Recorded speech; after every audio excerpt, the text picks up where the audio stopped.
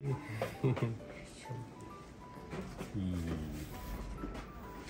ああはい口の中も OK はい耳はどううんきれいきれい皆さん、こんにちは。玉勝間荘の森下でございます。いつも大変お世話になっております。ありがとうございます。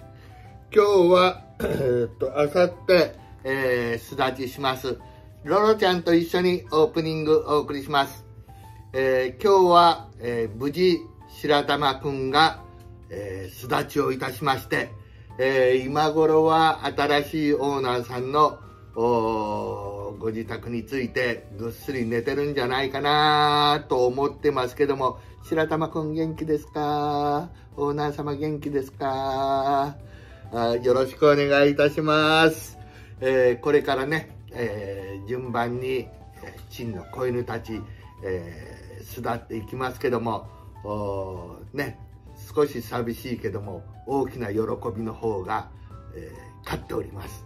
えーこれからね素晴らしい、えー県政が待っていることだと思います。ぜひオーナーさんよろしくお願いいたします。また私どもとの付き合いもよろしくお願いいたします、えーロロ君はね、えーこういう形で今日あのー混合ワクチン1回打ってきました。こんな感じで綺麗ですよ。もっこもこになってます。ういこんにちは。こんにちは。あ焦点合ってるかな。こんにちはです。はい次じゃあえー、あおちゃん。えー、あおちゃんよしよしおいでおいで。はい。じゃあ返しておいてくれるかな。はいこの子あおちゃんです。あおちゃんも元気です。はい。どんな感じになってきました？もこもこ。毛が伸びてねなんかあ実際よりもね大きく感じます。お顔も可愛いです。あー元気いっぱい。この子はいつも元気ですよね。はいそれから次黄色ちゃんいきます。父ちゃん黄色ちゃんちょっと貸してくれる？はいじゃあ青ちゃんは父ちゃんとこ行ってくれるかな？はい。黄色ちゃんです。はい。ちびっこ黄色くんです。はい。最近ご飯もりもりもりもり食べてます。インスタでもねよくご飯食べてる様子出てると思いますけども。食欲いっぱいです。ちっちゃな体でねすごいパワーです。こういう形でね、えー元気ですので皆さんご安心ください。順番にね、えー、巣立ちを迎えていきますので、えーそれまでねあのできる限り私たちも頑張ってねあの育児しますのでどうぞよろしくお願いいたします。じゃあとわちゃんこの子あのお母さんのところへ返してくれるかな、えーこの子は、えー、アコヤ姫と一緒にいます。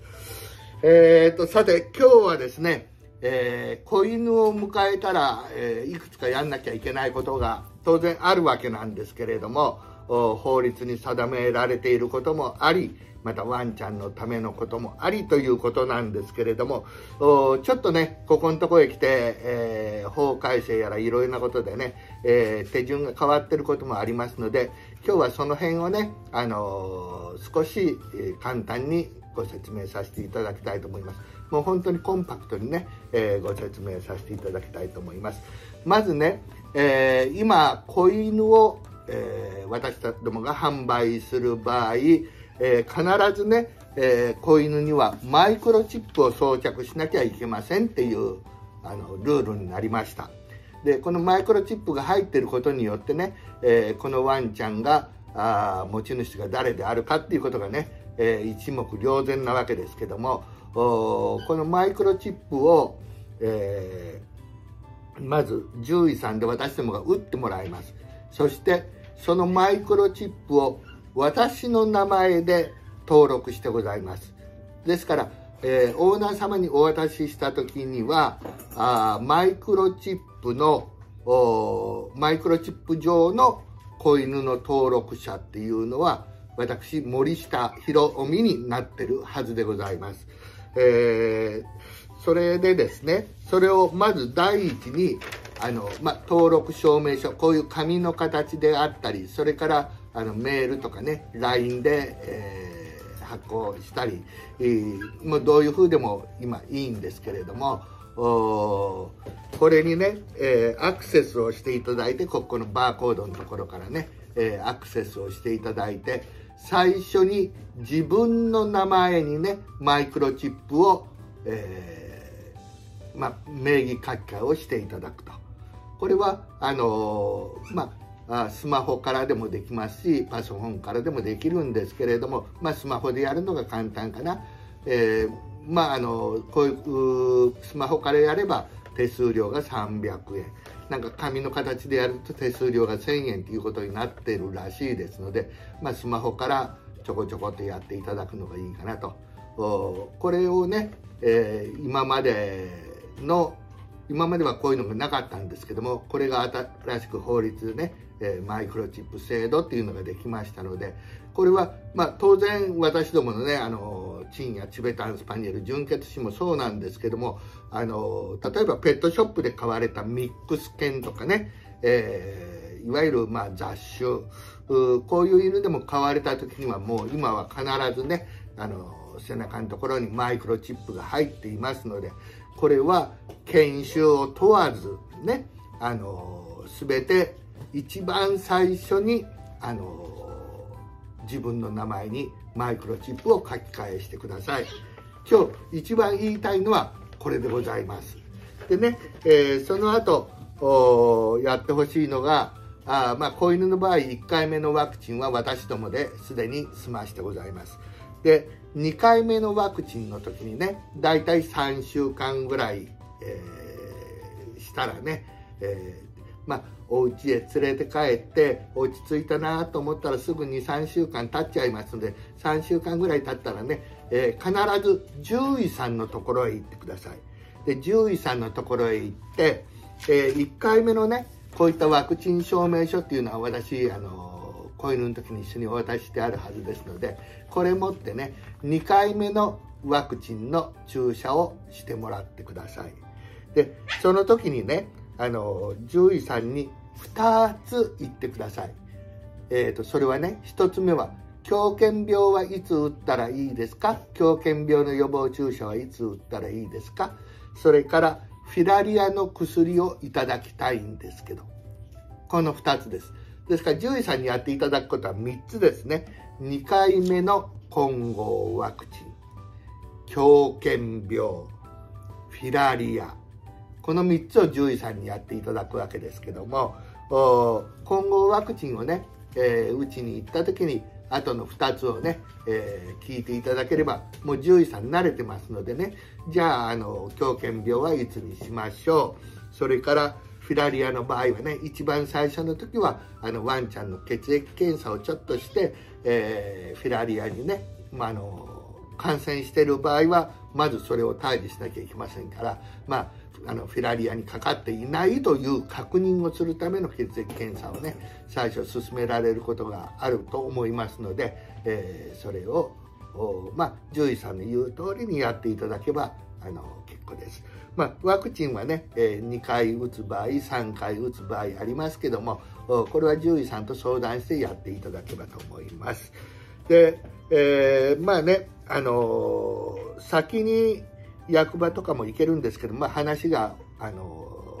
前後すると伝わりにくなるといけませんので、えー、一番最初がもうマイクロチップで2番目が獣医さんで獣医さんでね狂犬病の注射を打ってもらったらあ狂犬病のねあの注射打ちましたよっていう紙もらえます。それを持って、えー、あの市町村のね、えー、役場なり役所へねえー、行って、えー、登録をしてください。そうするとね、えー、これは滝町のちっちゃいんですけどね、えー、ワンちゃんのこれ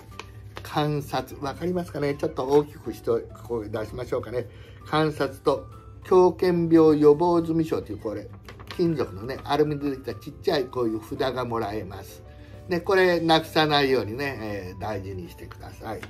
そうするとね、えー、合計でお手元に、えー、マあのマイクロチップのこういったあの打ちましたよっていう打ってますよっていう証明書。あの紙じゃなくてね、えデジタル形式であの、まあ、メールとか LINE に入ったままでもいいんですけど、まあ、プリントアウトして持っておいていただけばね何、えー、かの時にあのスマホが変わっちゃったとかいう時でも安心ですので一度ねこれカラーコピーですけどもカラーコピーでも普通コピーでも取っておいていただければと思います。それからね、えー、ワクチン、まあ、2回打つ方3回打つ方ねいらっしゃいますけども今は3回がね主流になってきてますけどもそういう場合はこれが1回につき1枚ですんでねこういう風な形で今2回打ってますので、えー、2枚っていうような形。そして、えー、役場へ行ってね、えー、こういったあの観察とか狂犬病の札こういうのがもらえます。でね、あのお願いしたいのはあ今あこあのワンちゃんと出かける例えばドッグランですとかあそれからペットと泊まれるホテルとかあそういうとこへね、えー、行く場合、えー、こういったものの提示をね、えー、求められるところがあのもう今ほとんどです、まあ、マイクロチップは、ね、どうかなと思うんですけれどもワクチンの接種の証明それから、えーまあ、狂犬病の注射の証明それから観察までね、えー、求められるところはめったにないんですけども私が知ってるところでは1件だけかな。そこはあの観察もまあ聞いたところそこまではなくてもいいんですけどあった方がいいというようなちょっと灰色の答えでしたけどもまああそういうところもあるということで、えー、これだけをねセットで、えー混合ワクチン打ちました狂犬病打ちました観察持ってますよというようなこういうものをね、えー、ジップロックとかあそれからこういったものでもねあの結構ですんで、えー、挟んでね、えー、まああの旅行とか行く場合は忘れずに、えー、お持ちいただいたらいいと思います。またねあの念のためにねあのこういうものを一通りコピーなり写メで撮っておいて、えー、すればねあの、まあ、コピーなら車のダッシュボードとか入れておけば万々一忘れて出ちゃった場合もねそれで大体あの通してもらえることが多いので、えー、まあ元本を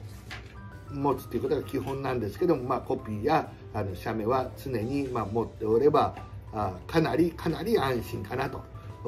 そういう感じはいたします。まあ、法律でね、えー、役場には何日以内とかね、えー、そういう細かいことはあるんですけどもね、えー、実際それをみんな守りきれるかというとこの4月5月のね年度代わりの忙しい時ですし、まあ、あの法律上だからなるべく守らなきゃいけないっていうんですけどもそれは分かるんですけどものには順番というものがありますのでねその順番、まあ、子犬のことですから、えー、マイクロチップをこれはもうすぐできますのでね、えー、まあ、ご自宅に来たあの翌日でも翌々日でもやってもらうと。ね、それからちょっと落ち着いて23週間したら獣医さんとこ行って、えー、ワクチンを2回目打ってもらうその時に狂犬病どうしましょうフィラリアどうしましょうと相談していただくで狂犬病をいつ打ちましょうということで打ったらそれを持って役場に行くと、ね、こういうあの流れをやっていただければ